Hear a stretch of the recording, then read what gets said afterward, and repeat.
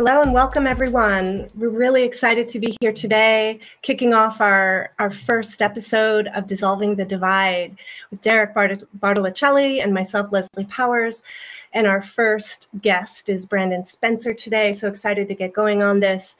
And just for a quick um, recap of what we're here to do, Dissolving the Divide is um, a brainstorm of Derek's, and um, he came to me with this idea and i had been thinking about it at the same time about how important it is for us to uh, address and dissolve all the division that's going on in the world it's unnecessary and you know taking us away from our what our true focus should be which is to um, claim our freedom, our true freedom.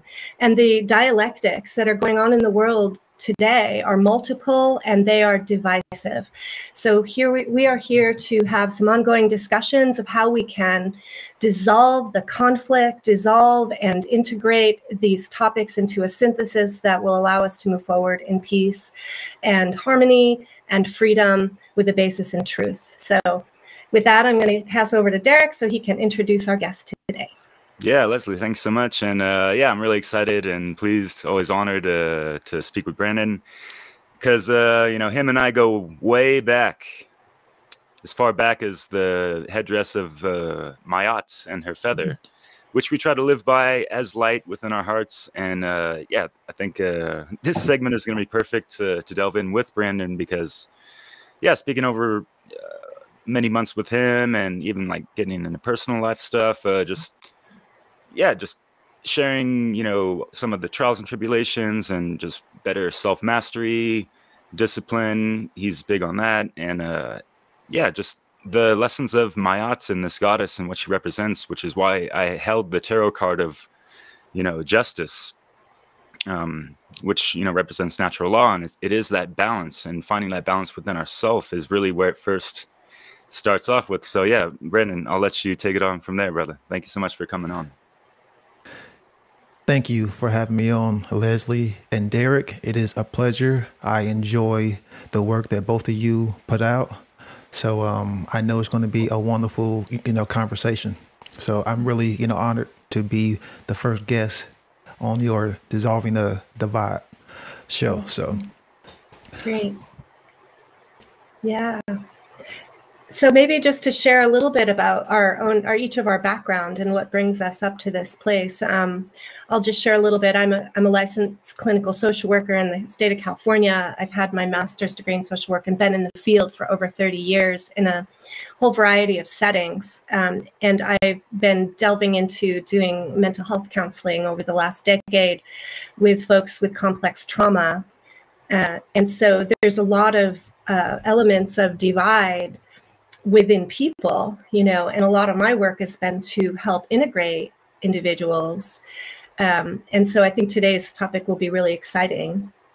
Um, and Brandon, you chose the topic um, about the internal divide, right? So yes, yes, yeah. and to kind of get into my background and what I do because I've umpired um, fast pitch softball it's been 17 years. I started like young. It's been so long. And I've traveled, you know, the country. But one thing as a umpire, one thing that I've learned is it deals with a lot of psychology because I'm constantly dealing with people. And I'm dealing with people in an, an environment that involves their kids, that involves, you know, how their children. So once things start to not go well, you know, in this environment, then people kind of show their negative programming.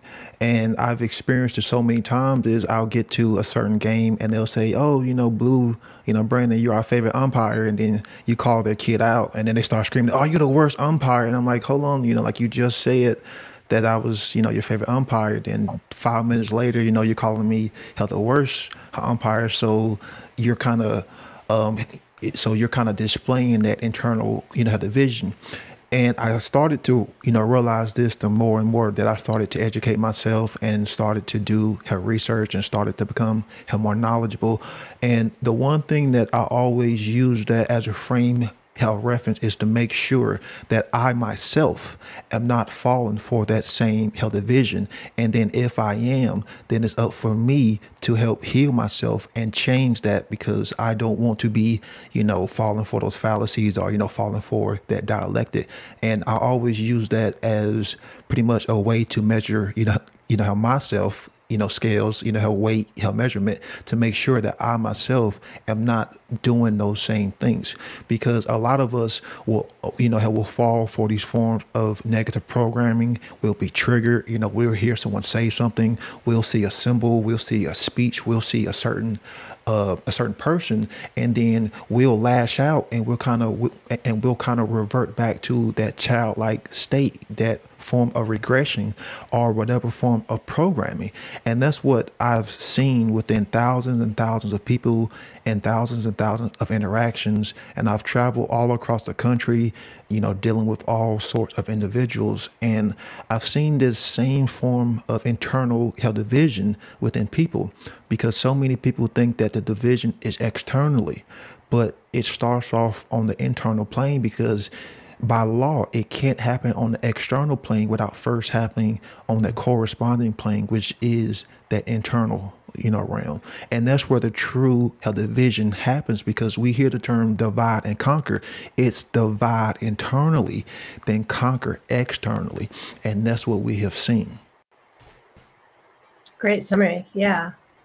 Yeah, Brandon, totally. Uh, just real quick, um, because I was laughing before because I could totally relate, and uh, yeah, you and I have been having some cool conversations about that, and I can relate because I've been a soccer referee and a baseball umpire, kind of making money on the side as a young adolescent. I didn't take it further than that, but uh, yeah, just being in that zone of neutrality and like these opposing sides and this and that, and you got folks that are you know they're like fair weather fans of yours you know in a sense you know like but they'll turn on you when you know like right. you said and it's just interesting how how people get so triggered by these and it's yeah these like tribal competitive sports and this and that it kind of you know tugs at the at that primitive part of the brain a little bit and just yeah the knee-jerk reactional type of things that that's really interesting and um, yeah it's interesting also brandon when you're saying of like yeah when you're in that zone umpiring and stuff you said like you're do you want to mention that real quick it applies to oh um yeah hell just hell when i'm in you know hell, the zone which hell, that's what i call it because i have to take in a lot of information and the level that i call it is a very high level. It's pretty much a level a tier right underneath health division one. So a lot of the older girls who i call games for they're already committed to like top schools. So they're extremely competitive. So just being hell in that zone I have to, you know, be able to take in a, a, lot of information fast. But then two, hell, just making sure that I'm in that center because I've actually experimented with this for years, you know, like being kind of you know, overzealous or kind of, you know, cocky and then kind of being more toward the extremities of, you know, just kind of how emotional and it never works out well. So just making sure that I'm still balanced, you know, to be able to take in as much information to be able to process it. Because if I go behind the plate and I'm not feeling well or, you know, my emotions are getting the best of me or I'm super hell excited, I'm more, you know, liable to miss a call. And and I consciously know this because, you know, after doing something a thousand times, you become consciously held aware of it through pattern recognition. But then two, making sure that I'm still balanced hell enough to still be able to focus and still take in information. And then two, like I said earlier, make sure that I myself am still, you know, maintaining my principles, my boundaries and enforcing hell those rules and seeing like, hey, the way that these spectators and parents are acting, still being consciously held aware to make sure that, you know, I'm not going to fall for or be triggered, you know, by whatever hell they say. Because in Derek, hell, you know, when you umpire, you're going to be called everything in the book. You're going to be threatened, um, you know, hell, you're going to be called all kinds of names, but that doesn't give you a reason to falter. You know, hell, that doesn't give you a reason to hell lash out and react in the same way that they are acting. So you still have to make sure that you are staying centered. You still have to make sure that you are still balanced, and you still have to make sure that you are adhering to your principles and your boundaries you know, because those principles and those boundaries are going to always be there. And if you don't adhere to them, then they're not really principles at all. So that's what I try to do is to make sure that I still have that mental clarity because it is a lot of mental, you know, focus um, in order to help maintain yourself because you know, you can be worn down physically. It's hot, you know, because I'm in the South. Hell, some days it's like hell 100 degrees and I'm wearing gear, you know. So there are a lot of things that are working not in my favor and you're sweating, you know, hell, you're ready to go, hell, you're hungry. Some days I don't get a break, but there's not an excuse, you know. So I use this as a means to build discipline for myself and to learn more hell about myself, not just on the physical level, but on the mental, you know, level too. Because once someone starts to get broken hell mentally, then that's when problems start to happen. And mind you, I've been broken hell mentally sometimes too, because there have been some times where I've snapped and you know, you know, have done something that I possibly shouldn't have done and said some things, but I learn from those things and I make sure that it doesn't happen, you know, hell again. I will. Uh, that's you've brought up so many amazing points here. I just want to um, kind of highlight a few of them. And one is, um, you know, highlighting that this there's a mental process here, a mental and emotional process, and it's about how we are responding to or relating to things that are external to us that trigger us, right? So, you know, you have yourself.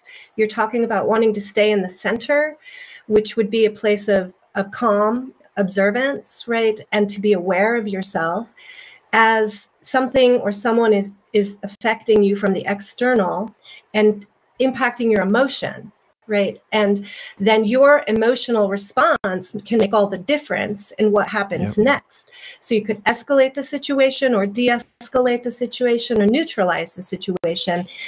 And so there's a place of power there in that response and that's related a lot to re- relationships with that which is outside of us. And then there's a need as far there's skills required right to to be able to succeed at that. One of those was you mentioned was tolerating distress and discomfort. Say of being really hot right or if we're hungry or we're tired we're hot we're cold that's going to impact our capacity right to uh, and how we respond and how we are able to keep our center under pressure or stress. And i think of that center as like a place of equanimity a place of of self energy of of, of calm clear clear you know uh, centeredness and then you said what I think was also really important to this conversation is about what is it that's going to guide our responses. So there's response or react, but then what is it that's going to guide that? And those are our, our principles and our boundaries. So the boundaries are partly defined by your role, right? As a, let's say, umpire and the position you're in there and the job you're there to do. But also there's a principle aspect that might, um, that might, so to speak, trump that if it came down to it, right? Any thoughts to bounce off that? Yes, integrity.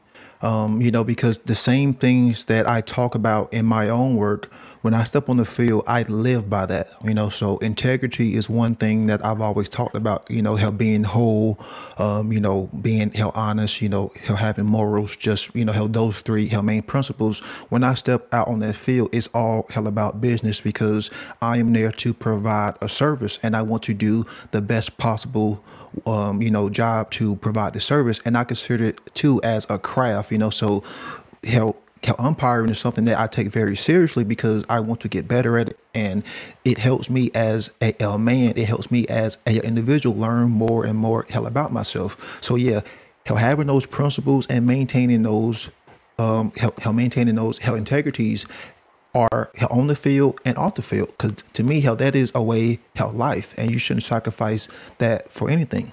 And you know, I've worked with so many how different umpires how off the field, you know, how to talk about it, or how on the field, you know, how to talk about it. But then you see them kind of how contradict that and then sacrifice that. And what I always say is, once we sacrifice our integrity, once we sacrifice our word, and we don't how honor our word, then that is a little piece of ourselves that we lose. That's going to be so much harder for us to find because that little piece that is being lost is not making us integral. It's not making us whole because we have to be whole beings. We have to be whole balanced beings because you know we have the masculine, we have the feminine. Uh, you know how some people call it the subconscious and how the conscious, or if you want to you know call it how the left uh, the left hemisphere and the right hemisphere. Regardless of what you call it, is we have to have this wholeness. And if it is just how one sided, it is if it is imbalance, then it's not going to work in your favor. And ultimately, it's going to do a disservice to not only you but into seeing how the bigger picture. So in that level of balance, I know if I maintain to those principles and maintain to those boundaries, then ultimately that's not only going to keep me safe and staying out of trouble, but in the long haul, what I've learned, I'm staying true to myself and not sacrificing anything for anyone else because at the end of the day, it's not only about serving truth, but it's about staying true to yourself. Mm, yeah, great point. Derek, yeah. any comments? Yeah, totally. And uh, yeah, I love how you broke that down and staying true to yourself and uh, like seeing things just, you know, if everything is energy and like building your constitution, what is your, you know, energetic signature and how are you maintaining that and what are you magnetizing in your life or repelling in regards to like the law of attraction and all this? And as the great Manly P. Hall uh, has said many times, of just like, yes, when you're not staying true to your word and lying and, you know, and it, it comes from within, you know, it, it's all about one state of mind, you know, like where did that, those ideas come from? Why did someone try to, you know, not be honest and truthful about whatever? They're going to be kind of uh, depreciating their like magnetic energetic uh, integrity mm-hmm. yeah i think that's a really good point that what we do even on the baseball field so to speak is it has a power that maybe we underestimate in terms of the magnetism or the impact on the environment right right and yeah. what we attract or what we repel and we could be attracting a fight you know we could be attracting chaos or we could be attracting you know and um you know focus uh, from you know our behavior could impact everyone on the team, right? Yes. So that brings that me brings us to the question of like, what is the value of this topic? We're talking about the internal divide. What? Why is this so important? Well, how this is important because we're talking about how the self, you know, we're talking about how the individual, and when I say the self, I'm talking about how the physical, how the mental, the spiritual, the psychological, and the the emotional, not just, you know, how the physical self as what we see. But if we really want to heal things and we really truly want to get in touch with ourselves, then we have to embrace all aspects of you know, how the self. And just like I mentioned earlier, if we are divided within ourselves, that is not being in a state of wholeness. That is not having any form of integrity. So it's important because we have to find ourselves. You know, we have to we have to understand that we are more than just health physical, we have to understand that we are just more than just whatever forms of egoic attachments. We have to understand that we are just more than whatever roles you know that we play. So, in by finding your true self, then you can start to find you know your true purpose. That's what starts to give you the internal fulfillment, and that's why a lot of people in today's day are walking around and kind of like this slumber you know, health mindset because they haven't found them, uh, how they haven't found themselves. They're still health divided. They're, you know, uh, they don't have any true purpose because they haven't found it. So, in that form of true purpose, that's what gives you meaning. And we all know meaning is what grants clarity. And we are all looking for forms of clarity. But if you are looking externally, you're never really going to find it. You have to look within yourselves because there's so much on that internal journey that you can learn. And it's constantly going to be more information that's going to be going. It's like, you know, this journey is almost like it's going to take your whole life because there's always new things that you're going to be learning hell about yourself. There's always new things that you can be healed. So in in understanding that, then you start to realize that you have the internal power. The power comes from within. And this kind of gets on uh, the video that Leslie did for the summit with Corey, you know, and how people think that uh, that power or, you know, change comes from the external and I forgot the uh, correct term that you use, but then you also have the people who you know who know that that change, that power, that willpower, that energy comes from the internal. You know, mm-hmm. because we are all a part of source. So, you know, you have to go within your own source to tap yeah. into that source, to tap into that energy. Mm-hmm. Yeah, the locus of control. Yes, yeah, yeah there we go. I love that. Yeah. Uh, I love that video, by the way. Oh, thank you. Cool. Derek, you want to talk a little about why this is so important to talk about the internal divide? Yeah, sure. So, me and growing up myself, uh, I had temper tantrums and all this stuff. I felt knee jerky about certain things. I also felt like I didn't have much of a voice just because I didn't didn't know a whole lot about yeah what's going on in reality and within myself. Even though I tried to stay neutral in a lot of stuff, and I didn't fall for like so much indoctrination and uh, especially like bleeding heart statism of whatever flavor or color, you know. But um, I just I don't know. I didn't feel like I was a true, authentic person. I felt like there was something that just like I was in some kind of husk or some kind of crusty container. I had to like shatter it somehow in some way.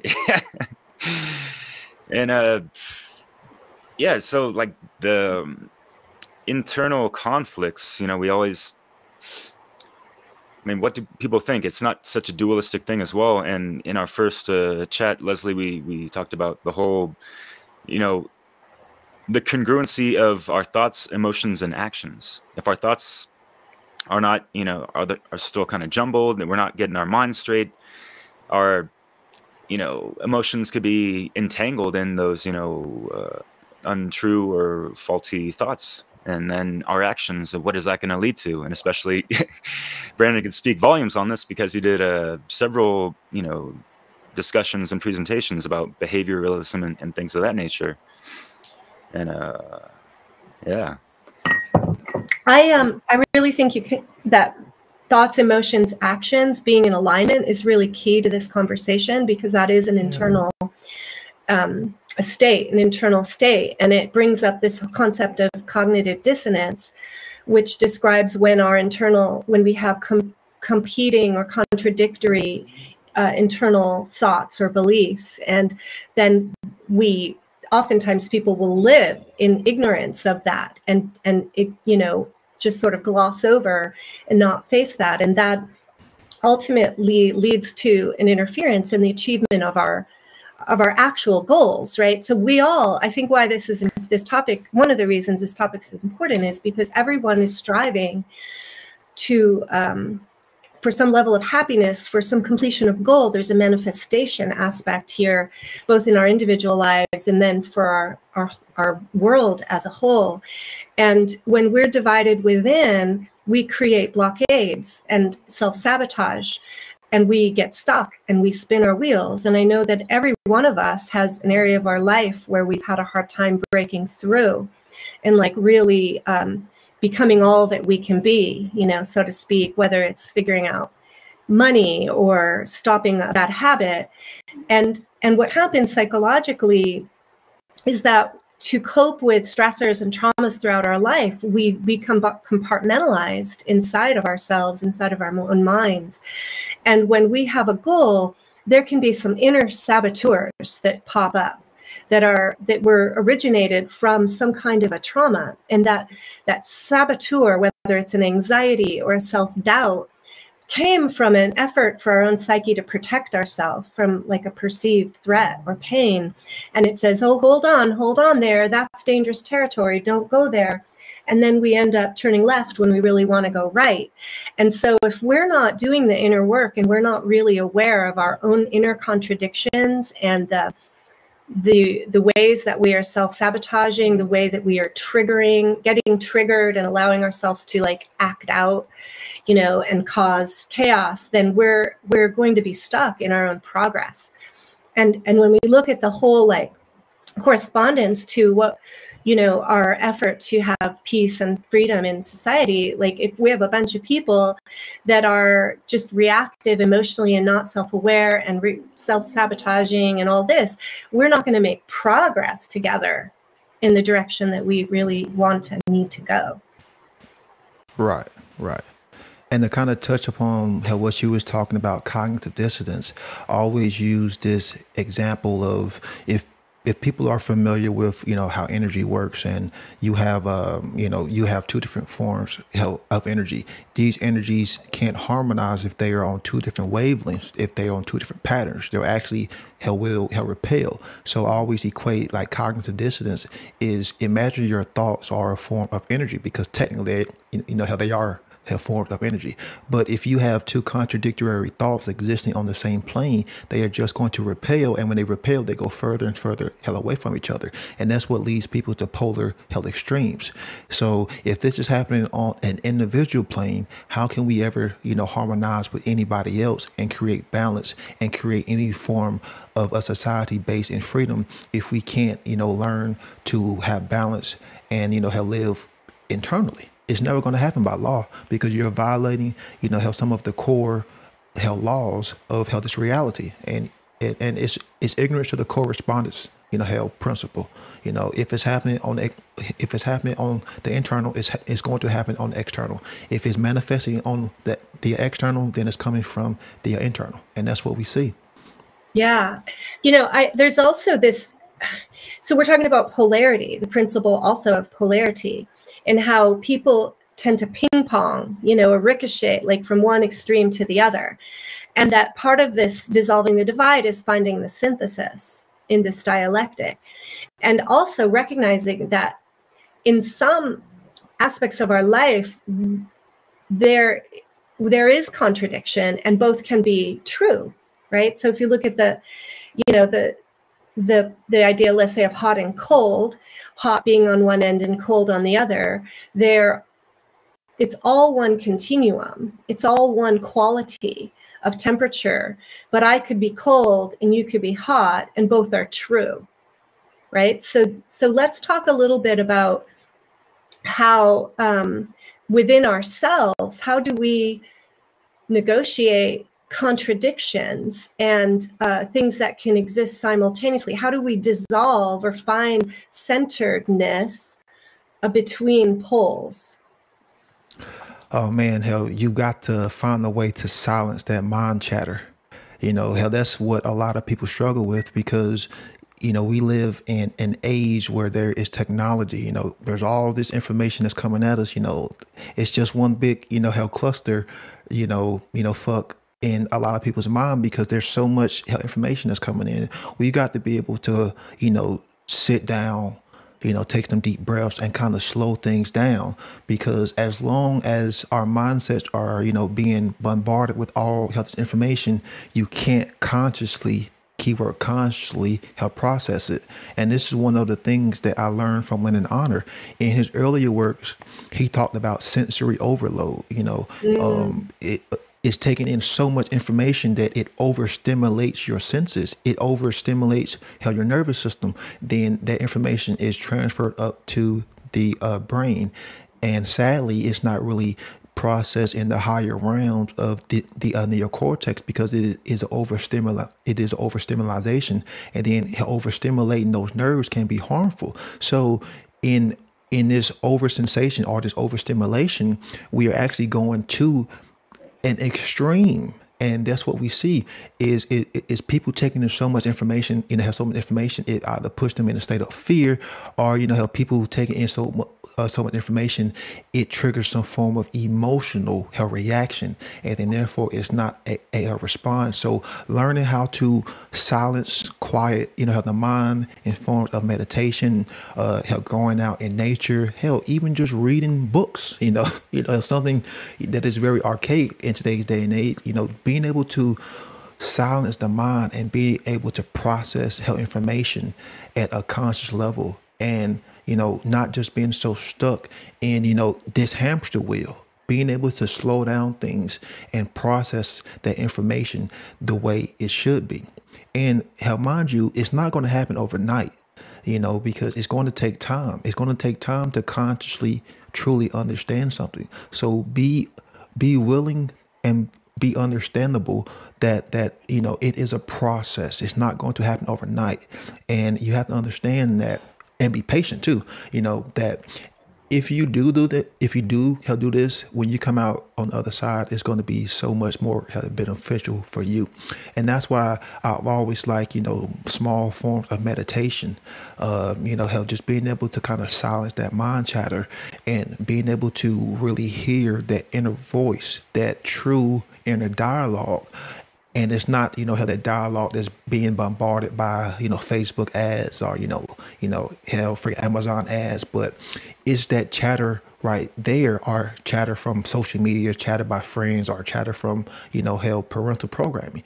Is being able to silence and quiet that mind chatter. Because when you do do that that is actually what starts to build up your corpus callosum within the mind. And the corpus callosum is the part that relates information to the left and right hemisphere of the brain. And that's why health meditation had always been one of, of those um, health processes that actually help balance that mind chatter. So yeah, being able to slow down, have that mind chatter is one of, of the key things that people have to do. Because if the mind is always running, then the physical body is going to always, you know, help be held in the hamster wheel because if it's happening on the internal, then that mind is going to lead, or how those thoughts are going to lead to an emotional reaction, and then that reaction is going to lead to a physical reaction. So yeah, being able to silence the mind and, and slow things down to be able to process health information, and the two to take in information too and that's what a lot of people can't really do is is they don't know how to take in right information because that mind chatter is just you know constantly mm-hmm. running. It's constantly you know like at play. Mm-hmm. Or thoughts that like put on the brakes right that create resistance that altogether to be open to information. Yeah, a lot of good points Derek? Yeah, and there's a lot of inf- information that people just don't want to necessarily look into because already off the bat they'll judge a, a book by its cover and like, oh, that contradicts uh, my, you know, what I already think I know and believe and all that stuff. Mm-hmm. But uh, yeah, I mean, like, yeah, recentering, meditation, uh, being on the median. What is your medium of that uh, way? I mean, it's not just being in a lotus position with your hands like this. Like that's just like such a new age. Uh, image of what meditation is. I mean, you could just be in a meditative mind state doing anything, going on a walk or, or doing whatever, mm. but in being able to like have that alone quiet time, try to clear the clutter out of your mind and, and silence that mind chatter, like you said, Brandon. And yeah, yeah, even like deep contemplation and being able to, all right, stand in the center. You understand, you know, whatever idea, even, you know, ideas about yourself. There's that one extreme and that other extreme, the two polarities, right? What is that unity? What is the the actual isness of that? Like the the wholeness of it, like you said, like being holistic about it and being in in touch with your intuition and yeah, just having that yeah, thoughts, emotions, and actions, the three tiers of the brain, neocortex, like and the limbic and then the R complex all, you know, kind of corresponding to the thoughts, emotions, and actions. And like you said, there's also, you look at down below on the vertical scale, the left and right hemispheres, the masculine feminine archetypal forms of, you know, that, uh, yeah, just having those balanced, especially connected to the core intelligent mind of your soul, which is in the center of your chest. Yeah. And the heart really yeah. just don't yeah. even are connected to as well or even look into and if people don't love themselves then their mind chatter and their inner dialogue isn't necessarily you know all that legit and yeah there's still things that, that need to be reconciled and, and ways to be uh, going about that is to get into hermit mode like i have the image on the top right um, and yeah being able to silence the mind and cutting off all external influences sometimes and just being able to take that journey within and you know delve down deep and do that shadow work that inner work and uh, even going back to you know the childhood memories or traumas and this and that and like understanding why today there's certain behaviors and thought patterns that I still carry that haven't matured since I was a child and that kind of stuff. So yeah, that self awareness. I really, yeah. you know, I'm thinking about that part of our task is to master our energy machine, basically, you know, and uh, to tune in and attune to ourselves and to recognize how our brain works. And the model of like the triune brain is really helpful. That um, you know the frontal lobes the you know the right and left hemispheres the thinking the human brain that allows us to do this complex thought that in how it can connect and relate uh, to the limbic system our emotional brain and then our reptile brain the brainstem which is you know connect you know activating all the physiological responses of fight and flight or freeze. And so when we are in fight or flight typically, you know, the frontal lobe shut down and we don't have access to the thinking part of our brain. So what Brandon's talking about in terms of meditation is really key. Some form of mindfulness or meditation practice that you do regularly so that you can take this awareness and this self attunement with you wherever you go. So if you're umpiring on the field, you have that awareness still with you of sort of your, you know, your mind, your gut, and your heart sort of in alignment and you're able to scan in like super super rapidly to see where you stand in response to the environmental stimuli right and so when you catch yourself, if you're really tuning in, you catch yourself having that spark of emotion or reactivity, and you can ground yourself usually with your breath, right? If we're talking about skills and how do we bring ourselves back to center, the breath is really a key anchor in that you know, and the awareness of your body. We, we're not beings of, where our heads are cut off. We have a body, and the signals of what's going on mentally are really displayed in our body. So there's like an, a, a simultaneous awareness of within and outside of ourselves. Um, and I think that we there's also an aspect here of bringing the automatic conscious you know, where a lot of times these things are happening in split seconds before we realize it, the more that we're doing that meditative, mindful practices where we're becoming aware of our, our own bodies and how our bodies respond to stress and so forth, then we become conscious of that dynamic. And it's the consciousness of it which allows us to make proper decision, you know, under moments of duress or whatever. Are those psychosomatics, by the way? or something along those lines? Psychosomatics is a is a is kind of a, a word that doesn't entirely it's not really use i don't know i don't find it super useful it's like somatic meaning that it's physical but it's everything in our body is connected to our mind it's not like mm. sep- separation doesn't really exist but um gotcha. But yeah you call it psychosomatic. So that was important. And then the other thing i wanted to just to say was our our thoughts you know and our attachment to outcomes. We get very attached to something being a certain way. And sometimes whether it's like a sports team people get really attached. And, and i think it's like it's a rep it's a symbol of something. It represents something. So you know people will be like hurting other people because their team loses or because the umpire or referee makes bad call, you know. Yeah. And so that's super important that we're all aware of our thoughts about the thing and the people and the outcomes we're relating relating with. Yeah. as, as Leslie was saying that, you know, my mind was just going through thousands of times that's happened, you know, to me. But um, one thing that you had brought up was the one of the modalities that I've been practicing for like eight something years was conscious breathing. And what people don't realize is, is once you start to hold, you start to hold your breath, pretty much the body starts to go through a pretty uh, a certain way of doing things as far as fight and flight. And I want to say this is something that we a bad habit that we develop as we were young. You know, when you cry, I was told that you you know how you start to hold your breath because you can't cry. Pretty much at the same time. And if you ever heard a, a baby crying you hear him crying and then, and then there's that pause and then they take that breath. So conscious breathing is something that is very important because how the breath is pretty much going to help determine how your mindset too.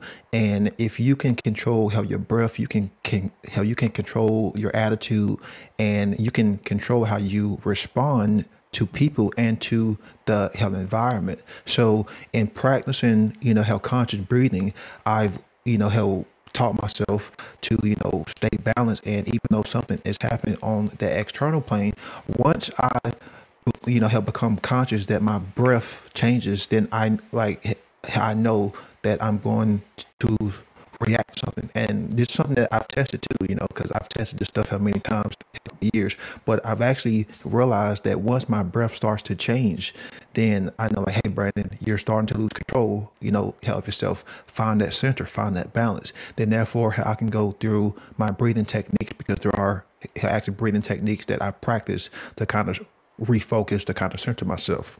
So yeah, I'm glad how that you brought that conscious breathing up and and how conscious breathing is something that can be practiced at any times hell during the day. You can do it hell anywhere. And it's something so simple um, you know, how you do it how, how multiple times and through repetition, how it starts to become how natural.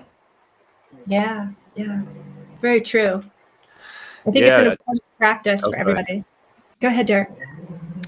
Oh yeah, just um, what you said about yeah, crying and breathing uh, reminded me of like my awakening experience, if you will, and that kind of felt like I got zapped by the universe or whatever.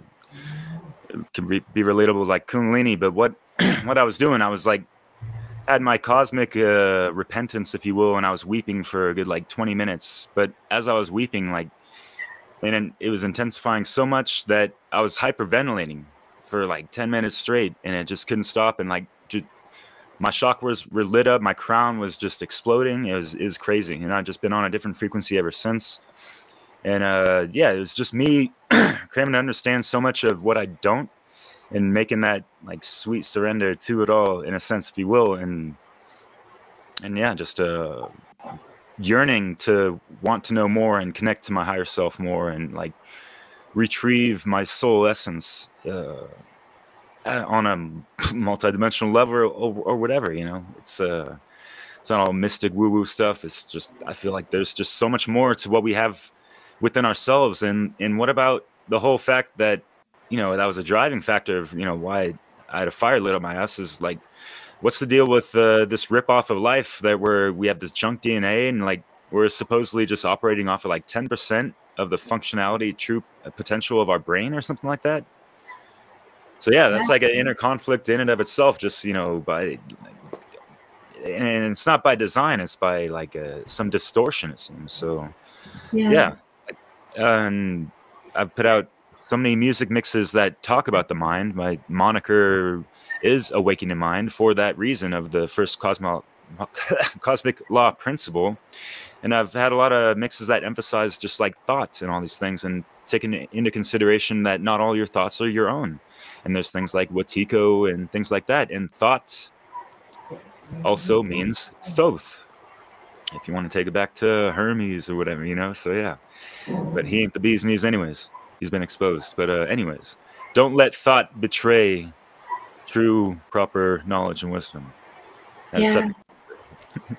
yeah, you know, you're bringing up this energetic point again and how we're all connected and our energetic fields overlap and can be influenced. So, you know, this symbology, you know, and mind other mind control techniques, sound, all our weaponry or can be used as weaponry against our energetic bodies that and we could can carry thoughts that really didn't originate within us but originated outside of us so part of this self this, this process of dissolving the divide within us is recognizing what's my thought and what is not my thought.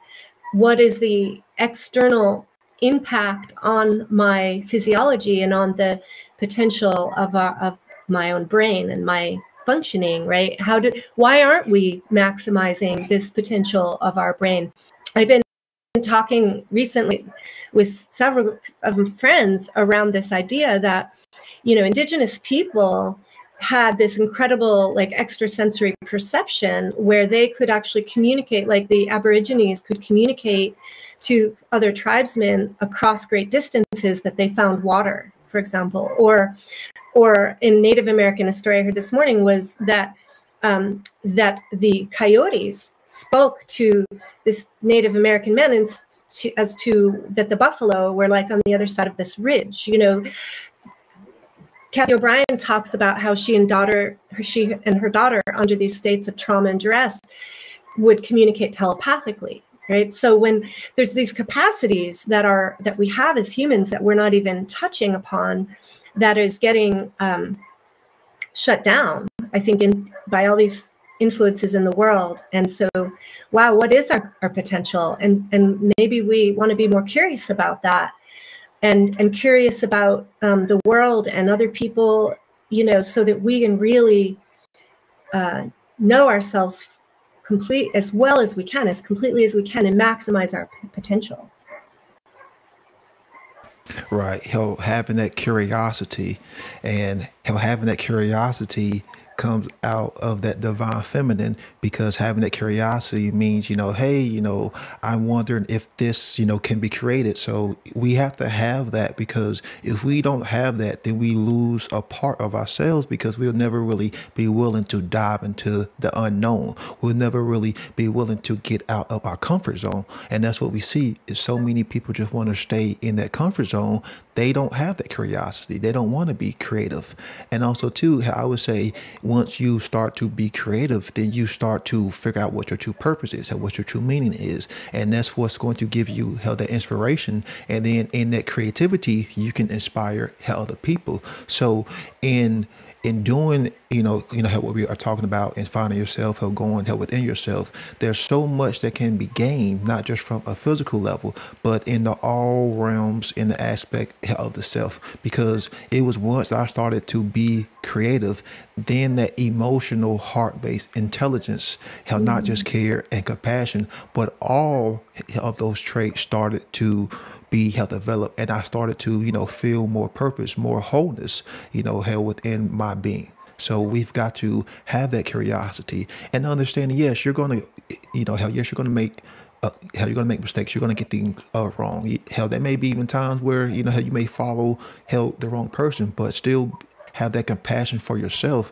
and be willing to forgive yourself to say, hey, you know, it was a mistake. Hell, no one's perfect and don't be so hard, you know, on yourself to where you're beating yourself up, to where you're doing more harm and doing more damage. Just be willing to to have that help and passion and that forgiveness for yourself. Because if you don't have that that compassion and care for yourself, then how can you give that compassion and care to anyone else outside of yourself? Yeah. Yeah. You want to say anything on that, Derek? Yeah, sure. and uh, yeah, it reminded me. Uh, we had a wonderful talk uh, with the the one great work warriors with uh, Chris Jansen, mm-hmm. Jimmy, and and uh, Crip Rick about yeah the the masculine and all this stuff. And yeah, it just came to mind because you mentioned you know that emotional intelligence, and you know a lot of what we t- talked about the other week in that discussion is just like a lot of men, especially in the older generations, uh, they just lack that, and it's just it's hard for them to even like get in touch with that as well, and, and like how to even navigate or, and all these things, and and yeah, that's just like a one of those internal conflicts or divides in and of itself within you know a lot of people unfortunately that they're not in touch with their emotions so they're not you know they're not fully controlled obviously so yeah it's just uh, a lot of projections come af- after that and voila we got like so many you know negative feedback loops you know stemming from all this stuff unfortunately you know, so. Yeah that in- emotional intelligence i think is really what we're we're talking about here is developing that which involves a, the balanced brain and the activation and, and presence of both left and right hemisphere intelligence and that masculine and feminine aspects of ourself which we all have within us and where we can get imbalanced on one extreme or the other. And when you're in one extreme, you're missing a whole perspective that's taking you away from truth, you know, the integration of truth anyway. And so being aware of how do we develop off many of us are un, you know underdeveloped in the, some of the the feminine skills of like intuition and creative expression because the left brain is so activated by this world of technology and to-do lists and achievement and get things done. So how do we you know balance that is through the the aspects of of slowing down time, right? Getting off the to do list, off the linear thinking into a place where we can access the intuition. And I do think that things like meditation and time in nature, you know, and, you know, possibly like using some psych, um, some plant medicines. Um, there's there are things we need to do deliberately and consciously to um, balance our brain and I think maybe talking a little bit more about, well, what are those skills and activities and things that we can do consciously to really, we've talked about some already, but let's just, yeah. you know, expand that a little bit. What, what, are, what are our responsibilities as, as individuals to do to, to, to like sharpen our tool, to, to master our energy machine, you know, and, um, and be a whole human being? Taking some time out for yourself. And this is something that I've had to learn, you know, from some feminine, you know, uh, female friends is is taking that time for your, yourself, you know, putting that time aside and and creating something, you know, um, taking something or doing something that truly brings you happiness, or just getting away from the technology. Because this is something that I did for years is, is just sitting in a room, sitting in a, a, a chair. Hey, if, if you want to sit in front of the mirror, how that works too, but just being more comfortable in looking at yourself, being more comfortable inside your own skin. A lot of people, you know, have problems with that. If you were to put them in a, a room in front of a, a mirror, and sit them in front of a, a, chair, they wouldn't even last five minutes because, hell, number one, they aren't comfortable with how they look and they know that there's something inside of them that's bringing them disharmony. So we've got to learn to be comfortable in our, our, own being because these are our vessels. If you're not comfortable in your own being, how are you going to be comfortable, you know, hell being in uh, another place, hell, another situation, hell with someone else. So you've got to take time to help reward yourself. And this is just and hell, this is something that we weren't really taught, you know, how growing up is rewarding yourself.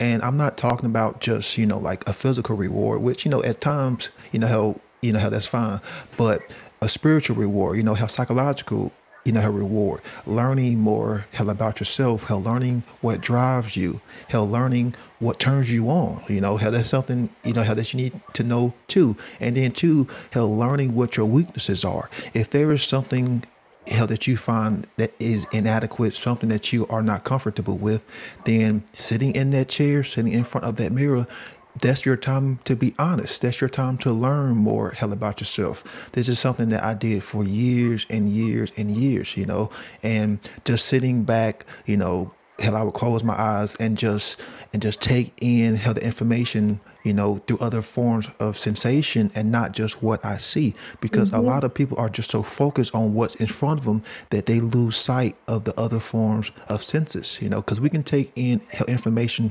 from a wide variety of senses and not just you know health of five you know you have the intuitive sense too but just sitting in that chair and having that inner dialogue you know and just listen, you know, because that voice is always there. It's going to always be there. And then once you start to take in that voice, you reward yourself by listening to that voice. And then mm-hmm. if there is something that you don't like, then that's something that can be worked on and that's something that I practice too. If if if there was something hell about myself, of course it was my speech, because speech is something that I've always struggled with. It's just something that how I was born with. Hell, I was born with some speech impediments. Most people don't hear them, but trust me, I'm consciously hell aware of them. So what I would do, and this is something that I learned in umpire, is is I would sit in front of the mirror and I would just talk. And then hell, something that I also would do is me and my cousin, hell, we would kind of practice, and I would just turn hell my camera on, and I just got more comfortable being in front of this camera, being in front hell, hell the screen. And after like two years, you know, you start to build that confidence. So it's mm-hmm. it's it's being honest and being conscious, aware there is something about each of our beings that we don't like.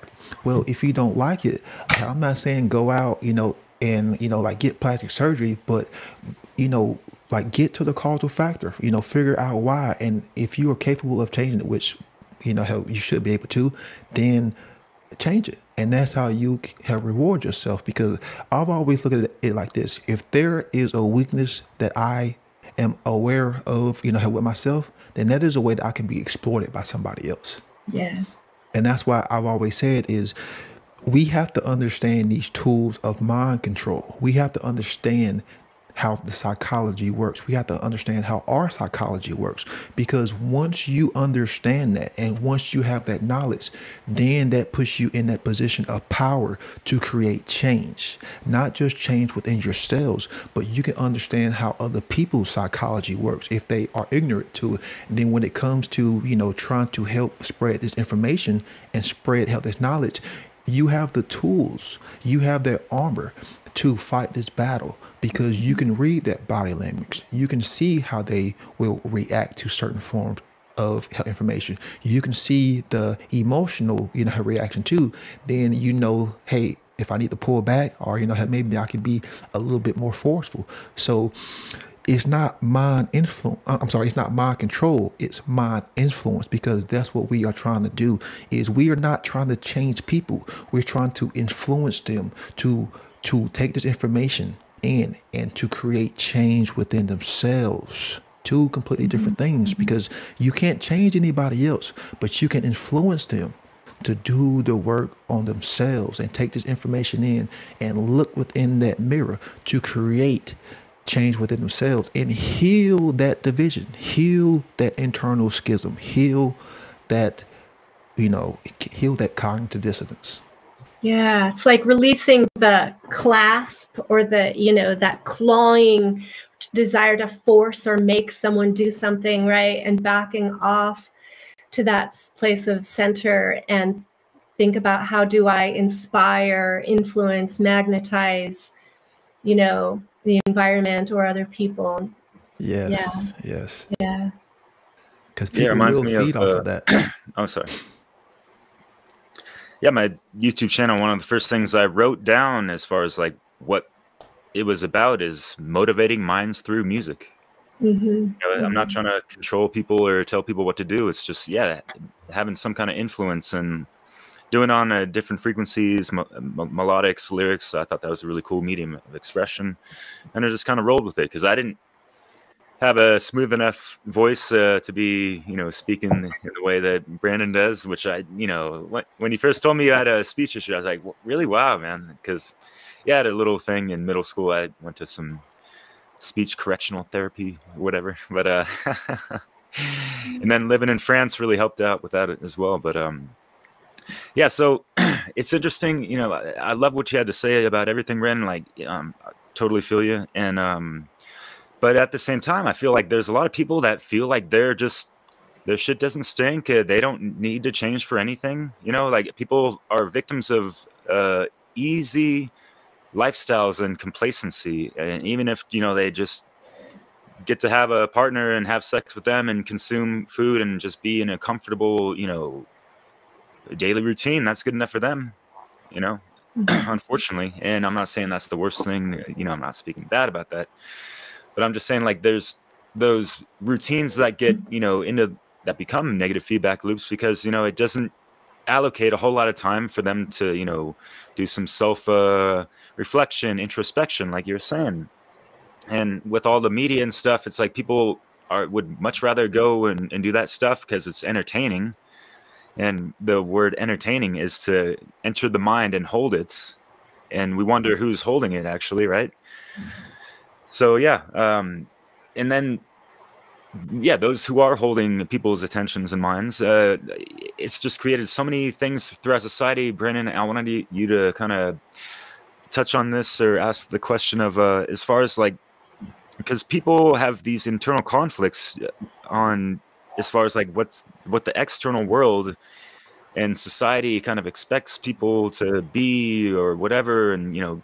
go through the, the main stages of life, you know, this American dream stuff, you know, get the good education, get the trophy wife, play the sports, watch the sports or whatever, get the the fancy car in, in the house after you get the big career job and all this stuff and you got the atomic family with your dog and the white picket fence and all that stuff even though that's kind of outdated at this point you know but um, you know there's like these expectations that people have and like they like you said they beat themselves up because they can't achieve these things that are pretty unrealistic anyways and it's just like these shit stems of the matrix that you know are not really something that to be you know valued that high of a, an achievement in living that lifestyle anyways it's, you know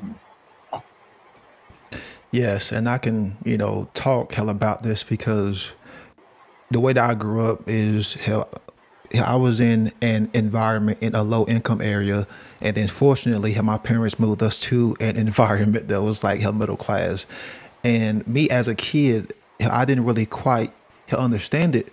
But now that I look back on it, you know, it was a three story house, hell gated community. We had a pool in the subdivision and we had a basketball court in, in our backyard, you know, so everybody would come over and play basketball. Uh, but it was it was just this illusion because how my dad was stuck into this hell illusion. Like it's like he was loving it, you know, like he wanted to be the top for another town. But there was all these internal problems because once you have all those big things, you have the house, you got to pay money to maintain it. You know, you got to you got to pay someone to to help cut the yard. It it's it's almost like uh hell. I'm going to paraphrase how the Buddhist uh, quote mm-hmm. in one of the books, but it's pretty much saying like the more material you know, have possessions you have, then the more time, the more money you have to pay to maintain those things. Because if people aren't from if people aren't hell aware, everything in hell, everything in manifest uh, in manifestation starts to break down. Hell, hell entropy is always hell free at play hell, there's going to be dust that builds up. You know, I'm constantly trying to dust down, you know, have my computer because things are constantly breaking down into forms of chaos. So the more things that you have, you're going to have to maintain, and to maintain those possessions is going to take time and it's going to take money. And the time, the money, and the focus is going to take is going to pull your awareness, it's going to pull your mm-hmm. health consciousness away from the things that you should be focused on. So they give us these glamorous things, these shiny things because of course you know children like shiny things hell animals like shiny things. It's what's going to be attractive to an individual who is in that low form of vibration. So then you try to grasp these shiny things, then once you get a hold of something, you don't want to let it go. And then that's what starts to feed that egoic hell attachment is once you have those things you don't want to let go because you're like, hey, this is mine. I worked hard for it. Then therefore you almost kind of have that child mentality. This is mine. This is mine. This is mine, you know, right. Yep. And you don't want to let go. And then anyone who brings hell information you know, saying, hey, maybe you should let this go. How do you react? You will use forms of slander, you will use forms of verbal, and even get physical because you have built up that egoic hell you know, hell attachment. And that's why they tell us, hey, you got to have this big house. You know, hey, you got to have, you know, hell this uh hell this Tesla or you know, have this Mercedes. Hey, you got to have, you know, hell three kids and you know, he'll work this nine to five slave job because they are putting out forms of wrong information, and we all know that forms of wrong uh, wrong information is going to lead to wrong forms of behavior. And that's what we see is everyone's trying to lash out for this dream but they're never really going to catch it. And yeah, the ones to... who do if you talk to them they're actually in a, a, a, a bad mindset because they are suffering Yes, and afraid of losing that comfort, like you said, so invested in um, losing what they've gained, or maybe having money now and having the opportunity to like do a lot of pleasurable things, travel and, you know, take cruises and do this and that. And And I yeah. think it's like the trick again. It's like putting people in this this divide, this dialectic of polarity, playing with our desire to have a balance. But so you work really hard, you know, you're very goal driven, very masculine. Then you have this time off or this money, and then you get to do the feminine in extreme.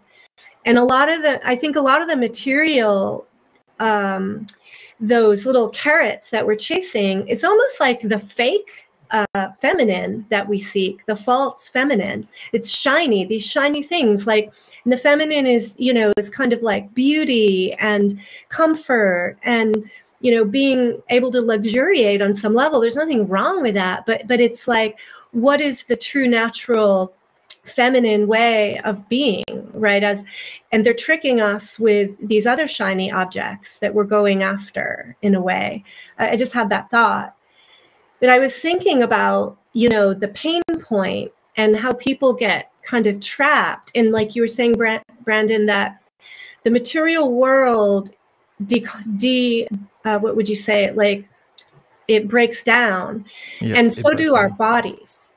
Our bodies break down and it leads to a pretty uh, difficult like internal uh, dissonance or di- internal uh, discomfort around our bodies and pain. And what is a great motivator but our pain whether it's emotional or physical and so i think that that is an inroad for people is our everyone has a pain point. And that that is where you know even when they're attempting to find happiness through all these material things and food and comfort and what you know being safe on their couch you know with their popcorn watching tv or whatever it's an it's there's ultimately going to be a, a pain that results many people are experiencing disease and physical pain. And so where, wherever anyone is at, it's like looking to that place where you're trying really hard to be okay and feel okay, but it's just not working, you know? And people tend to, you know, keep trying over and over and over again, knocking on the same door, and it just doesn't work, right? We have to wake up and say, wait a minute, this isn't working. Let's go within and let's figure out why I'm experiencing this pain. You know why as humanity are we experiencing this pain? And yeah. gain wisdom different knowledge and understanding to be more wise in our choices. Um, and i do think that the body work being so part of building this feminine the proper feminine you know is is is embracing how our bodies work and listening to our body developing a harmonious relationship with our body and the wisdom of nature expressed through it. And that has a lot to do with food and sleep and balance and breathing and grounding. So we can use our bodies as an inroad to balance our mind through you know, scanning our body and noticing where the tension is, breathing into our body, into our pain, grounding ourselves through our senses. Like you said, Brandon, not only what you see, really see, but seeing everything around you in new ways, like it's brand new, and listening to the sounds and touching and really feeling like your feet on the ground where you know right now and what does that connection feel like? And the parts of your body touching the chair and noticing the temperature of the air and the textures you know of things around you. We have we can gain our centeredness a lot through our connection to our human form in the material world and then learning about how it operates and honoring it. There's a certain element here, I think, of honoring our um, our imper- impermanence, yeah. but also understanding we have amazing technology here that we can, if we treat it right, if we learn how we work, we have amazing potential. You know, imagine the guys who really are into cars and they know how everything works inside and outside of a car. Well, let's all we all have the capacity to understand our own selves that way so we can drive optimally, right? Yes, man, you said that so how beautifully. Like, like I'm just imagine, you know, you know how this stuff in my mind, and yeah, um, how listening to the uh, body, um, how this is something that how Corey Andrelet how talks about, um, you know, how because all of our bodies are going to be different, but you have to have this conscious realization to listen to you know your body because your body has an intelligence of its own, and also too trauma can be stored held in certain parts held you know of the body so held listening to that and that's something that i had to learn uh, because held through repetition held through you know held conscious realization you can start to you know held, held know certain patterns held within the body and it's like helping me i know once the weekend comes my body starts to react you know how differently because i'm preparing myself, how not just mentally, but physically, that pretty much I'm going into a war zone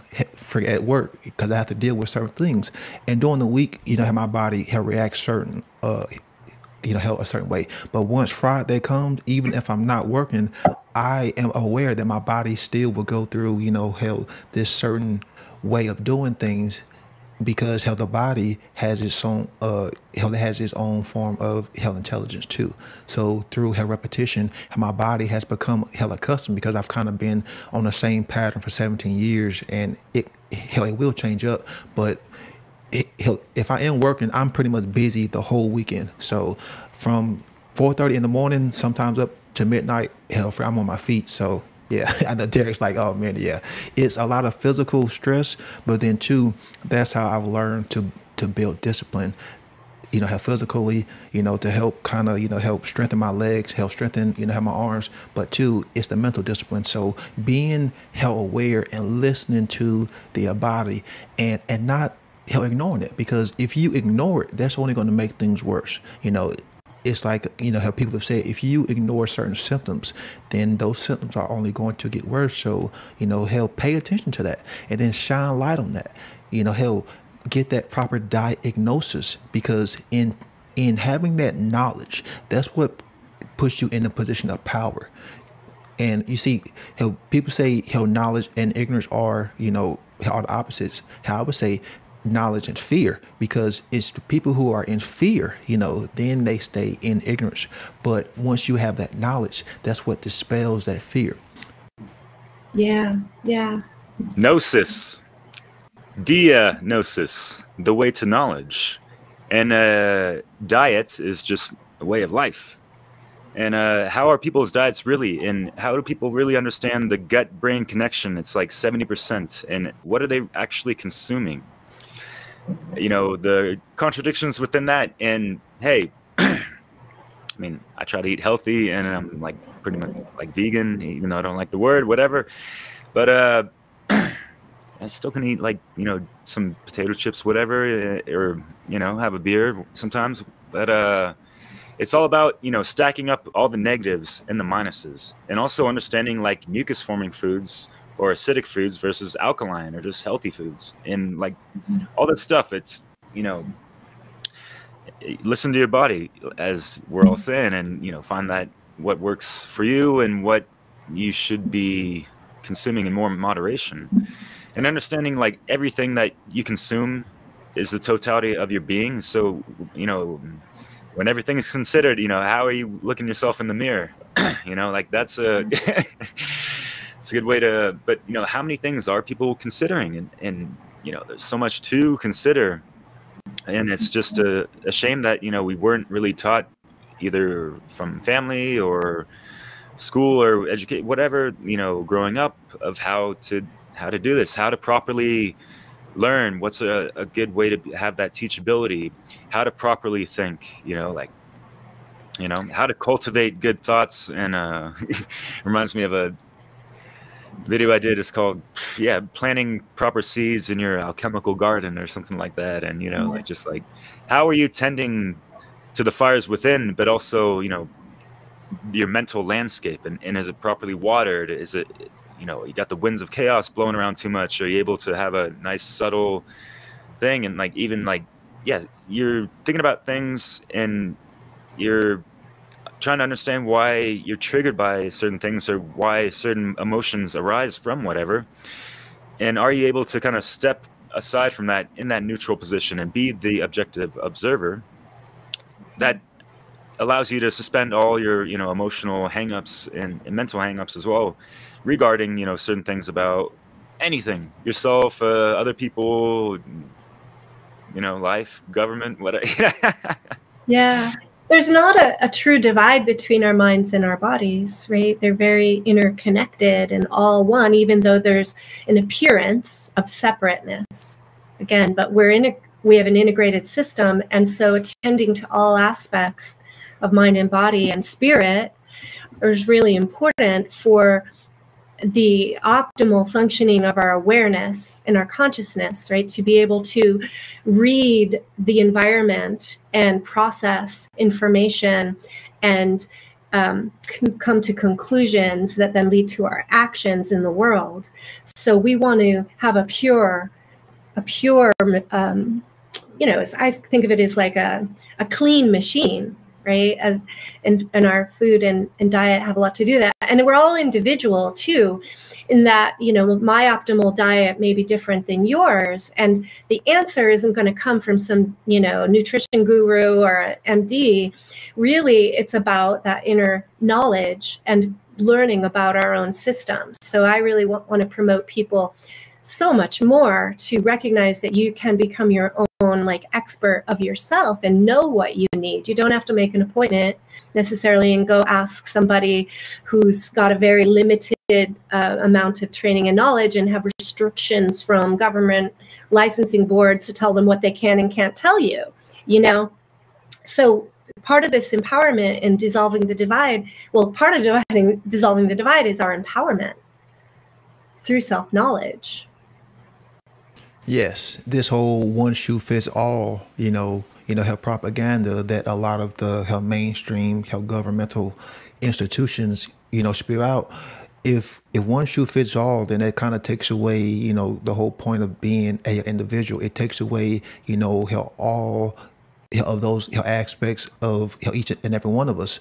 So to me, it's just another form of health collectivism, and you know, health throwing everybody into the same pot. Um, what works for me may not work for you, so you kind of have to you you have to use discernment. You have to help experiment, and and that's what we are trying to you know help encourage people to do is, is you have to experiment. You know, help with yourself, experiment. You know, help with these things. Hell, meditation may not work for you. You know, hell, uh, hell, my diet may not work for you. Okay, well, you know, hell, listen to your body. Hell, listen to you know you know, have the inner dialogue. And then you have to make that discernment. You have to make that choice. Don't rely on anybody else. You know, listen to that heart-based, you know, health intelligence, and then that right there should be that guiding factor. If your body is telling you one thing, then don't ignore it. You need to listen to it, and you have to experiment. It's going to take time, and a lot of people who want that instant gratification, you know, you know how they want you know, her results now, you know, it's like, no, it's not going to happen, you know, mm-hmm. because if your body is telling you something now, then yeah. But usually if that's happening, then it's not going to be going in a positive way because if you are living a form of toxicity, you still have to understand that once you change something that the body has become held accustomed to for so long, there's always going to be negative consequences for that because you have to pretty much weed out that toxicity you know, it's just like, you know, hell, if someone is trying to reprogram, you know, themselves, you have to get rid of them, of the bad forms of thought, those bad forms of information, those neural pathways that have already, you know, been paved. You got to deconstruct and break those neural pathways down in order for something to be built. You can't build yeah. on top of something that is toxic because yeah. that toxicity is going to be that that foundation. So then, therefore, that toxicity is not going to be able to coexist on something that is not toxic. So yeah. that's why what we're saying is you have to take away or break down what is already there, and it kind of gets into the what I said earlier about health energy.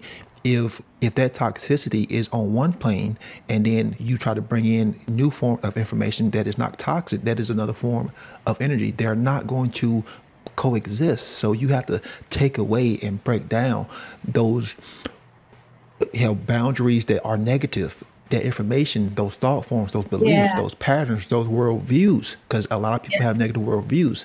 Those negative ways you see yourself, those negative ways uh, are those negative, you know, uh, uh, things you're putting into your body. You got to break all that down and be willing to let that go and just throw your hands up to the all, the isness, you know, the universe and say, you know, I am in service to you. You know, sometimes that's what you got to do is just throw your hands up, you know, you know, hell to the heavens, you know, even if you are religious or not, it's still the heavens, you know, hell the all, hell the isness, you know, hell source and just throw your hands up and, and just say, you know, like, hey, I am in service to you. And then hell, once you do that, then hell, that information should be coming. Hell, the energy, uh, hell, the energy should be coming. So yeah, you got to learn yeah, to let that shit quick. go sometimes. I just got to say something real quick because, uh, uh, like, yeah, detoxification. We we can do this in so many different ways, and yeah, digital detox is great, especially kind of untangle like this hardwired brain that's so addicted to all this, you know, dopamine hits of screen time and this and that and uh, to rebuild one's foundation. I mean, like uh, everything you said, like the totality. It's like you know, just clear that you know that gunk so you can you know establish something on some solid ground. Is like something like a vision quest, where you're out in nature. You ain't got no tech. It's a digital detox as well as like a food detox, and all you're doing is drinking water, and you're out in nature, and you, you pitch a tent, and that there you go. Good luck. you get your little hatchet like that one guy in the movie or uh, now that TV show, not pff, TV show. Um, I know the guy's name too. But it's the book. Yeah. But anyways, um, Hatchet. You know that one? But uh, yeah, just for me, I've, I've done so many. I've detoxed and not or fasted, uh, Master Lemon Cleanse, by the way, for over hundred days in my entire life, and that has helped me nice. uh, practice so much in so many different types of discipline and mental, physical, and all these things. And Leslie, I liked what you mentioned uh, as far as like bringing up pain because pain is one of those. It's one of the biggest catalysts that a lot of people are. Yeah, the biggest and probably the most common for people to actually, you know, it kind of like crashes their paradigm and they really have to make a change. Otherwise, you know, they're doomed in a sense. And it's unfortunate that it they couldn't change before leading up to that point and it got that bad almost, you know? And so like having discussions like this and, and like things that we've learned over the years, it's like, yeah, we're trying to avoid that for ourselves and other people as well. And like we see the collective trajectory and, you know, it's kind of like we're to go smack uh, in a brick wall going how many miles per hour? But uh, yeah. Yeah. Yeah. That I love that idea of it's really important of detoxing and removing that the obstacles and the stagnancy and the uh, barriers, the toxicities in our bodies and in our minds, right? And to then, from that place, be in, in the place of stillness, to receive information, to listen, to listen internally as well as like spiritually. And from there, rebuild very consciously. And, you know, Derek, you brought up this metaphor of like building a shelter. And I was thinking, yeah, it's like we then take need to take responsibility for building our internal mechanisms to protect ourselves, to to um, master, to develop the skills to be master of our lives, and that could include an inner shelter. You know, we have to have filters that we are conscious of putting up at times, like from overstimulation in the world and habits. We create habits and routines very consciously instead of knee jerk reactive to pain or discomfort, where we're just sort of like, you know, flopping around according to external, you know, stimulation. One, one of my kind of biggest wake up you know times was when i just realized that i was sort of just blowing in the wind i was just my life was going so fast that I had lost touch with my own self-driven trajectory, you know, and I was just reacting. I was surviving and I was reacting to to the environment and it took like ha- having a baby, you know, and having time off to realize how the hell did I ended up with this baby like right when I'm trying to like end a relationship and you know what happened to my dreams and my goals and like what am i doing? And you know sometimes it takes that that like our lives get out of control and we're stuck like how the hell did i get here? You know it reminds me of that um, talking heads sound song you know where he says how did i get here in this in this house with this beautiful wife? Like i don't even know right do we create our, our own lives and and that's often when we wake up is when we realize damn you know I need to take some more control over this trajectory that I'm on and take responsibility for how I got here and develop both the internal and external boundaries, you know, to to like like if I'm on a horse, I need to guide that horse. And you know, we need to take care of the horse and take care of ourselves and the carriage we're in and you know, all of these metaphors along the way. Right, because taking control means you have to be centered and have balance. Because if you wanted to build a house, you know, and you wanted to pick up a hammer, and start, you know, putting in some nails, if your left hand and her right hand was in there fighting with each other, you wouldn't be able to get much done. So, in order for us to take control, we have to build that inner control and build that inner balance because that's where the true power lies.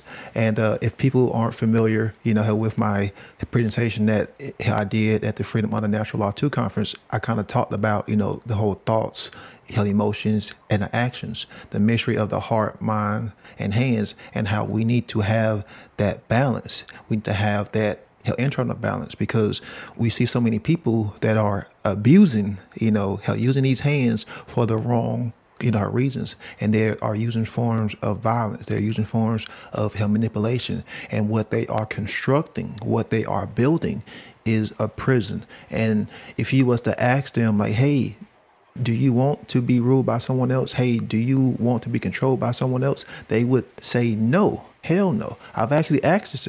Uh, hell, I've asked this to people, but then yet their hands, their deeds, their behaviors are doing the complete opposite of what they just said and what they think. So we've got to find the way to build that internal control, that internal yeah. balance, and feel comfortable with ourselves, and then to love ourselves. Hell, this yeah. was something that I had to admit to myself a few months ago.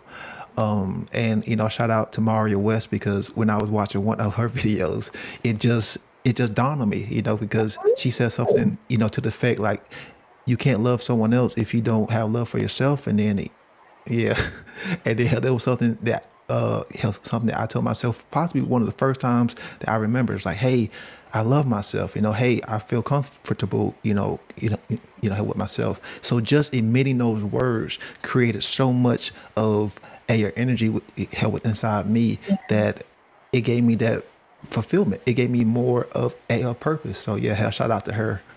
yeah, self love really is a root, right? That we need to have as a foundation to then um, be in integrity too. Like it, comes back to integrity and alignment of thoughts, feelings, actions, mind, body, spirit. And when we're out of alignment, when we're filled with all this dissonance and contra internal contradiction, then generally we're not going to feel really good about ourselves. Or we have unresolved traumas that, you know, are leading to different behavioral outcomes and acting out and re reactions and so forth, we're not feeling good about ourselves, that core of shame that people often struggle with.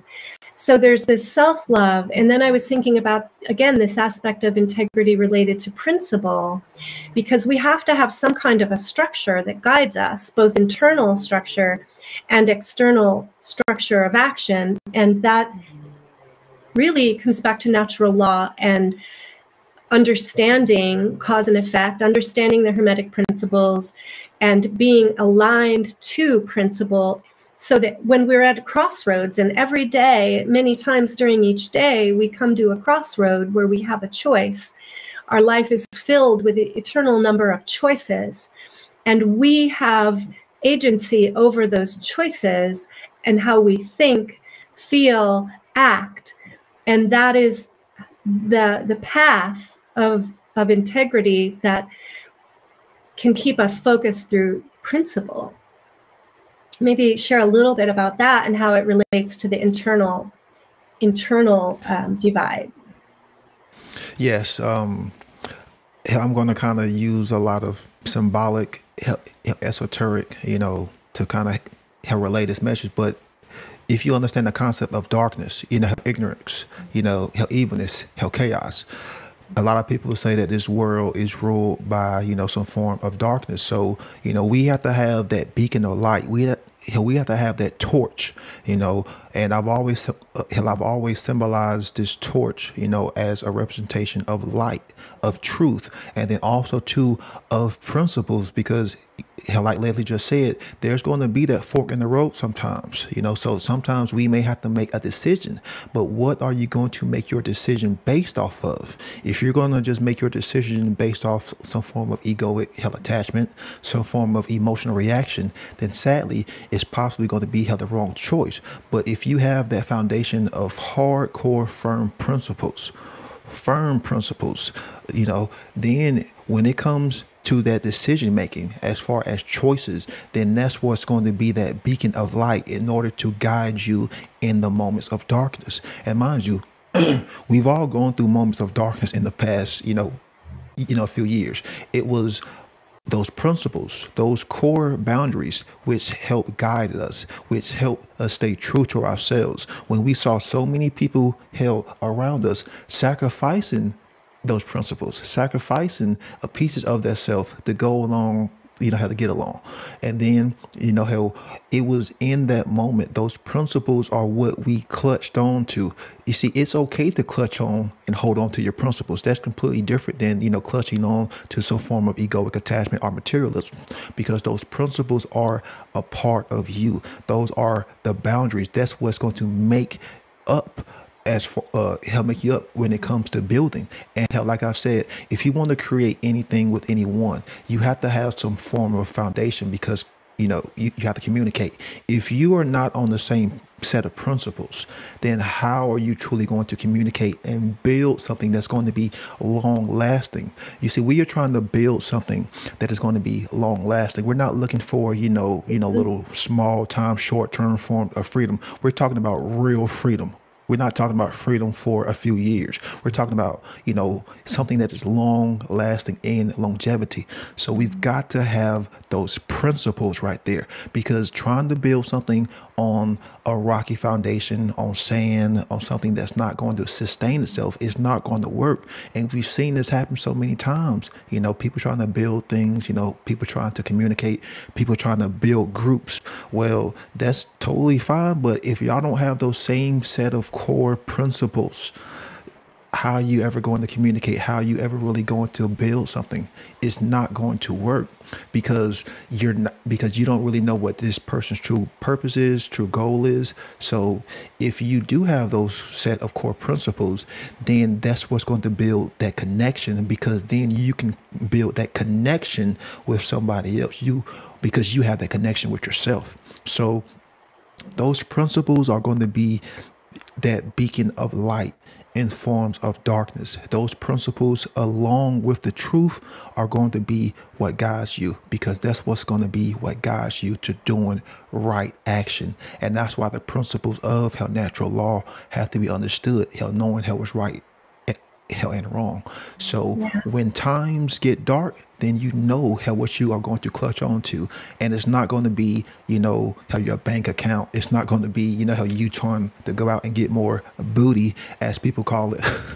but you're going to hold on to your principles because that's going to be that light. That's going to be that torch. That's going to be your candle in forms of darkness to guide you on your own journey, to guide you on your own path. Really well said. Thanks, Brandon. Yeah, yeah and uh, we're about an hour and a half into it. Um, mm-hmm. Final words.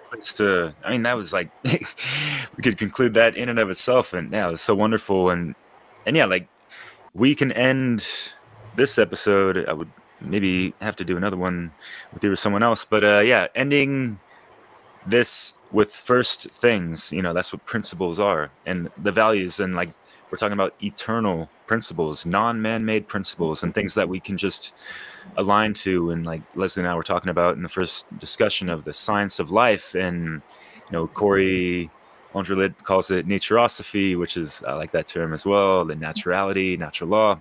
all these things and like yeah finding that unity consciousness within ourselves we're going to take it back to the internal conflicts and division within oneself and not understanding that yeah those two pillars of enlightenment or just the two hemispheres of the brain the masculine and feminine and those sacred principles therein as, as far as you know the self-defense principle the masculine and the the non-aggression non-violent principle of the feminine and how that plays out in that dynamic within oneself. And are they having nonviolent communication within themselves you know? Are they upholding you know the the their constitution with of their in, individual self you know above you know all the minutia out there or distorted you know views of you know one's true authentic self from the external you know? Yeah, I, I would just like to leave people with this invitation is to just look at your own self in terms of your alignment of thoughts, feelings, and actions and relate that to principles, the first principles. And there's a whole lot of growth and healing that can happen from that process. Yeah, it's been a great conversation. Yeah, thank yes, you so much. Uh, yes.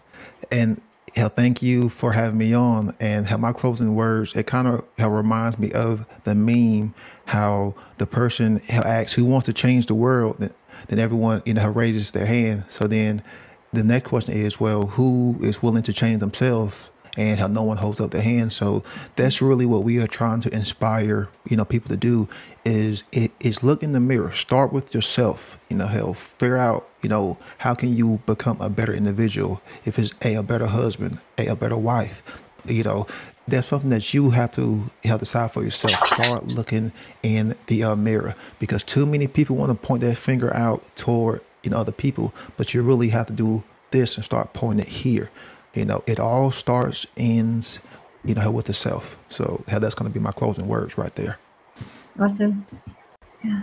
Yeah, Brandon. Um, you've done some phenomenal work over the past couple years, and yeah, you showed me the ropes yesterday on your beautiful studio setup, and this man's invested like countless hours and money in regards to you know what you're you know have built up a, a day already from a wonderful foundation and um, I know you got a lot of natural law and all that good stuff. And uh, can you please tell the wonderful folks out there still listening where they can find you, especially since YouTube loves you so much, they have to, you know, keep you far away.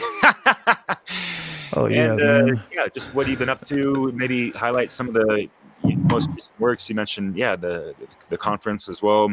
I love your Lex Naturalis uh, presentation as well, and Maat versus Isfet is great as well, which is why I wanted to have a chat with you to begin with, and and, and uh, yeah, yeah, it's all you, brother.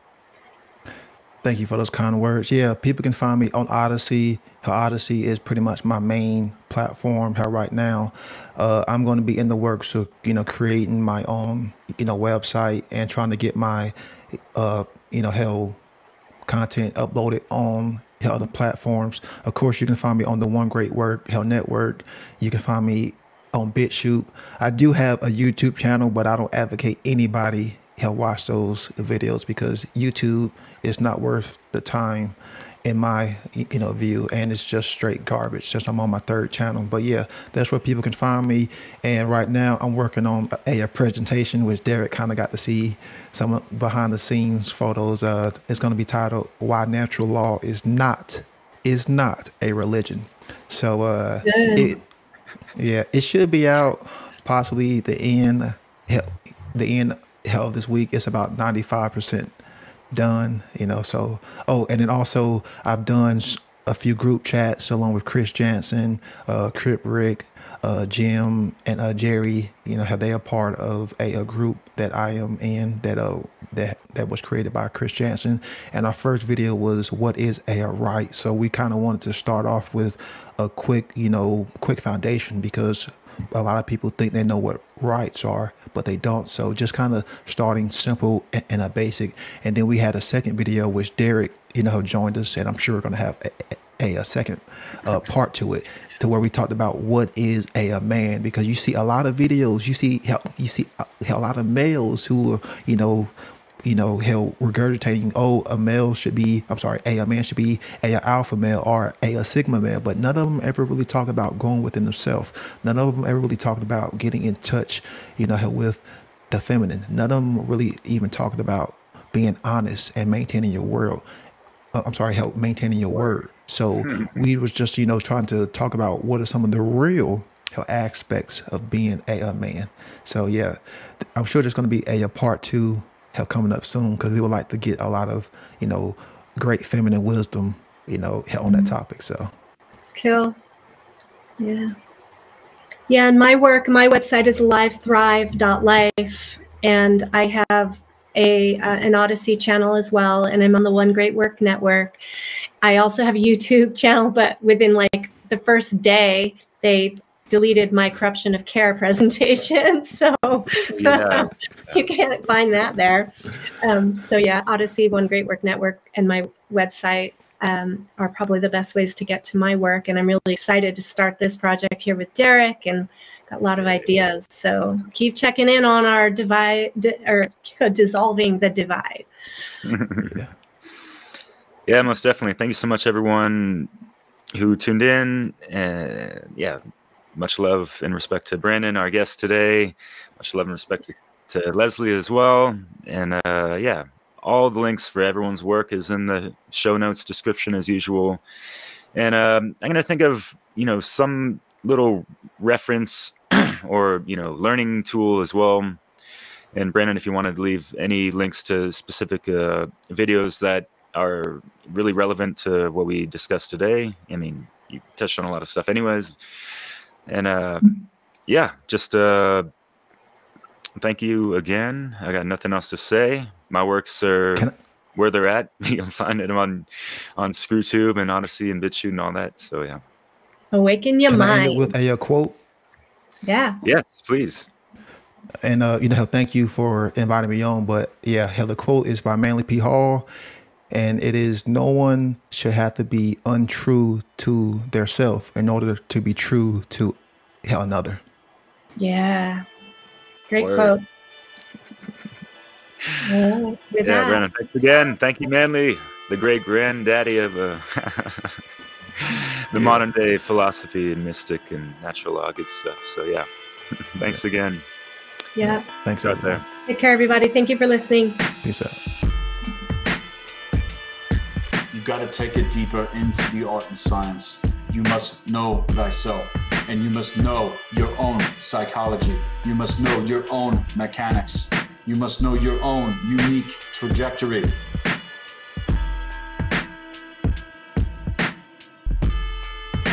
It is time to take your power back. It is time to take your mind back.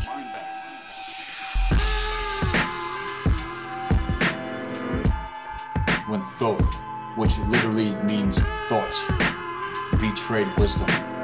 That is when all of this happened.